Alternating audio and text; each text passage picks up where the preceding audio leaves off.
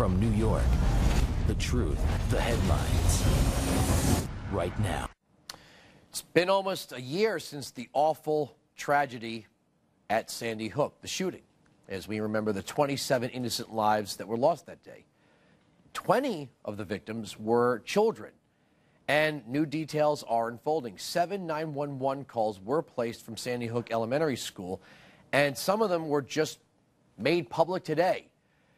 Very sensitive, dramatic, scary stuff. Let's let's take a listen. Pecan 911, what's the location of the emergency? Sandy Hook School. I think there's somebody shooting in here. Sandy Hook School. Okay, what makes you think that? Because somebody's got a gun. I saw a glimpse of somebody. They're running down the hallway. Okay. They're still running. They're still shooting. Sandy Hook School, please.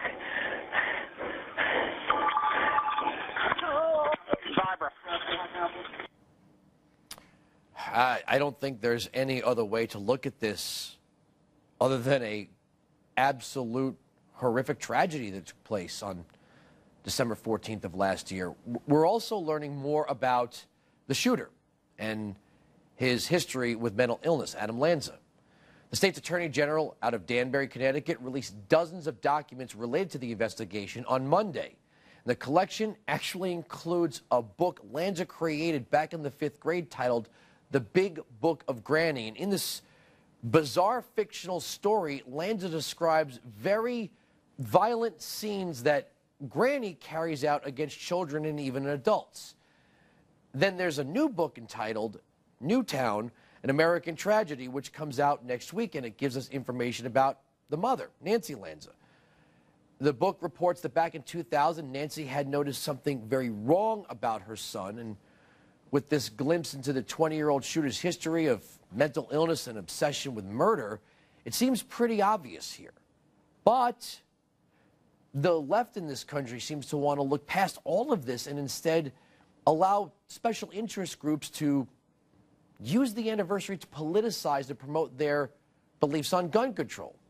Here to discuss this with me is Neil McCabe. He's the Guns and Patriots newsletter editor, and Carolyn Reinach Wolf. She's the director of mental health law at Abrams Fensterman, New York. Um, Neil, I'm going to start with you. Um, Sure, I'm looking. I'm looking at some of these uh, executive actions that were supposedly taken after uh, uh, Newtown, and I, I, I, some part of me sees really nothing here that the government doesn't already do, like appointing a director of the Bureau of Alcohol, Tobacco, and Firearms. But now that we're learning more about Adam and even Nancy Lanza, um, I just don't understand what gun control law would have prevented this if this new book by a Daily News reporter claims that she lied to acquire the guns, knowing that her son might have access to them. Oh, sure. I, I, I think that uh, one thing that people miss is that had somebody had a gun, either an armed guard or, or somebody who just happened to have a gun, maybe a landscaper or somebody at the building, this whole incident would have been over in, in five seconds. You know, when I heard those, those calls that you just played, I mean, it's absolutely, it's almost pornographic. Uh, just just the tragedy and uh, you know that I'm almost shocked that they would even release it on the anniversary. It, seems almost a, a, a, weird fetish, but you know the, the tragedy is that the police could arrive in five or ten or 15, 20 minutes, and, and the and the whole and all the shooting is over. If somebody had a gun there, you know we wouldn't have had this problem at all. You know you talk about mental illness. You know for many many years uh, it was a lot easier to determine whether somebody should be out on their own or not, and the state had remedies to uh, you know various degrees of locking them up or securing them. But we were told that this was unfair and this was unconstitutional, and and there was no role for society to control these people. And, and now here we are. Uh, the answer is not to eliminate guns. Certainly, that was a gun-free zone, and sadly, uh, I believe it because it was a gun-free zone that those people were killed.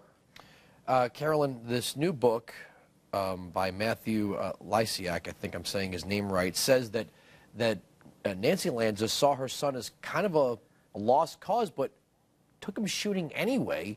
and left him with access to her firearms. I don't, I don't think any law in the books would have prevented this tragedy if, if this turns out to be true. No, I agree. I think it's the gun control conversation needs to be had, but I think the real issue we have to start to talk about is mental health services. What are the mental health issues here? How do we get out in front of all of this? Um, we work with families all the time who come to us and say, We're seeing this going on with our son or daughter, or teachers who call and say, We're concerned about certain behaviors. You know, that's the conversation that needs to go on, and then a process by which we can intervene early on, be proactive, get people into the treatment they need. Um, and you can train lay people to know what those, what I call red flags are, to identify behaviors that are of concern.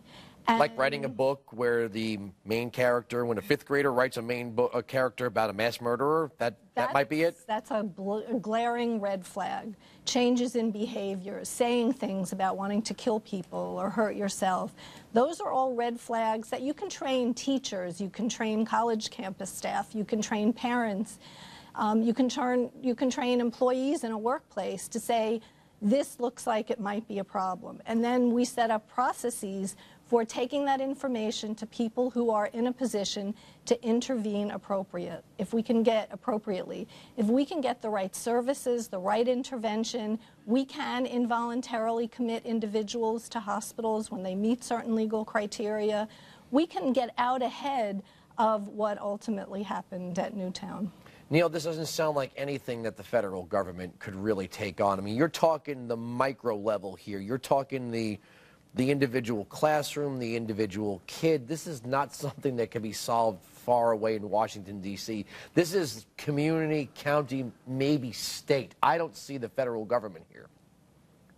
No, I, the federal government is just incapable of handling these mass these huge meta tasks and you know, and I, am also curious, Andrew, whether where Carolyn, you know, how she feels the fact that that father was absent in the home. It seems that we've spent, you know, a few decades in this country devaluing the role of masculinity and masculine role figures and fathers. Uh, it may be as simple as having a strong father in the home that would solve a lot of these problems. I think it's a matter of having a strong family unit, a family structure. You know, we know, I think it's 51% of people get divorced. Um, but there is a push for fathers to have more involvement, have more rights. I think the courts need to understand that and work and reflect on that. So I agree with you. It's family structure. It's you know keeping the families, whether there's a divorce or separation or an intact marriage in the home, keeping parents involved with children. And again, we train parents to look for behaviors and notice what's going on with their children or even their adult children. They see the individual much more than a teacher would see or maybe even an employer in a workplace would see. And but give them the opportunity to have somewhere to take that. You know, our mental health system is so broken.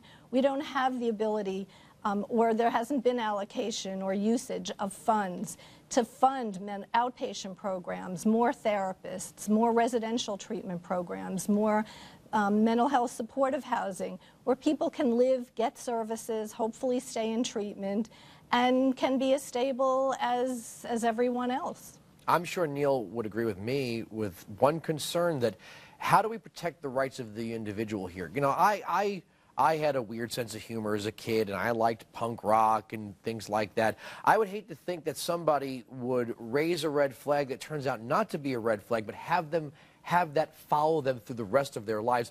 What, how would we approach this with, with uh, uh precision? Which is to say, we want to look for these red flags. Neil and I don't want to see people with mental health issues get their hands on guns, but we also don't want to see overreaction take over. Right, I agree. And we don't want to see that either because that leads to stigma and fear. And then it swings the whole other way where people are labeled. You're mentally ill, you're dangerous, and so on. And I mean, if you are, you should be labeled. If you're not, you shouldn't be. But right? labeling is really not what we're looking to do. We don't want to add to the stigma. It's already a problem. What we want to do is identify the behaviors and then have a system which we've set up in order to triage that. You know, is it just a kid who's creative and writing store horror, potential horror movies? Or is it a kid or an adult who really can go further with that. And remember, these things don't happen in isolation.